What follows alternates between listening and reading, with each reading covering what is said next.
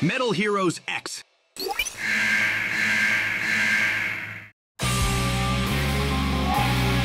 Oh look, another pathetic tool.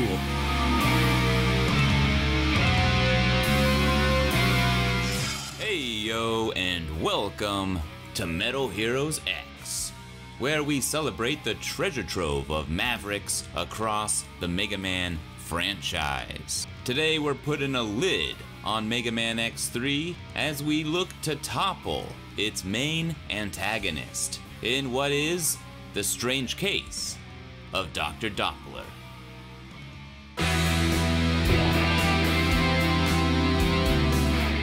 Dr. Doppler was a genius engineer and scientist whose selfless actions strived to improve both Reploid and humankind. The benevolent Doc helped Mavericks reintegrate into society with an antivirus he had spent years developing.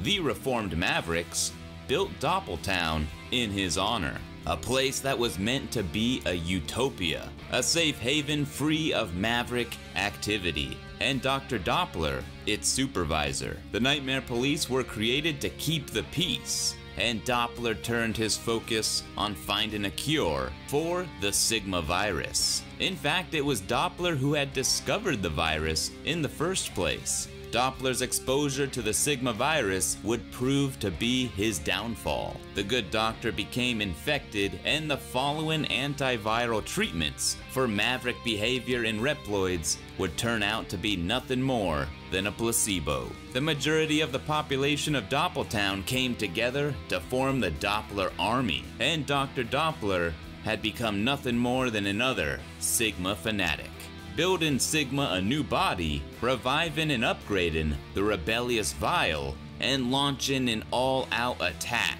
on the Maverick Hunter base. After Doppler's eventual defeat at the hands of X, many have speculated that Doppler returned to normal, just before sacrificing himself to help put a stop to Sigma in what would be a final act of redemption, while others believe it was Zero who helped X destroy Sigma's new body, a detail that would be left out of the Maverick Hunter's report.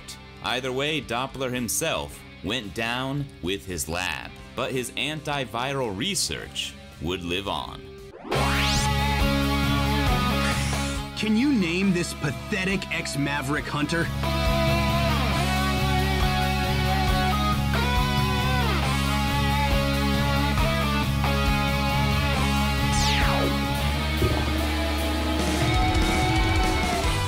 Dr. Doppler was designed by Tatsuya Yoshikawa.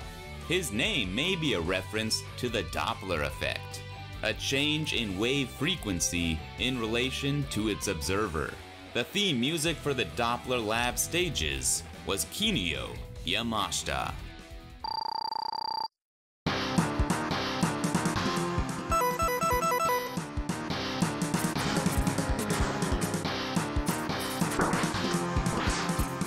Mega Man X3 1996. Dr. Doppler makes his debut and only in-game appearance to date.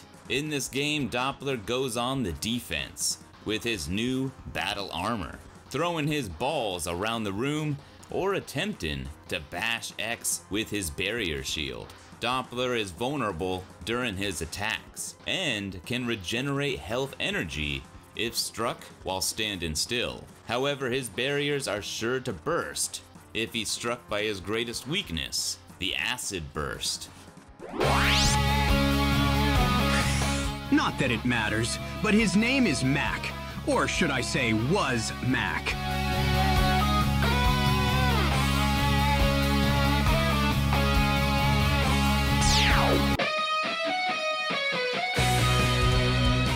Alright, hunters, and there you have it. Mega Man X3 is now a wrap. And fun fact, Doppler does have some minor, non-canonical appearances as the main antagonist in the card series Mega Mission, and does appear as a card in Teppen, as well as appearing in the Legacy Collection's X Challenge mode. Other than that, Doppler's legacy has come to an end, as has this current season of Metal Heroes X we will be taking a bit of a hiatus from the X series as we shift our focus to the classic series with both Rockman and Fort, or Forte as I should say, and Mega Man 8. But when we come back, we'll have one hell of a season and perhaps the most packed season to date as we explore the Mavericks and more of Mega Man X4. So until then, this is Den Den, signing off.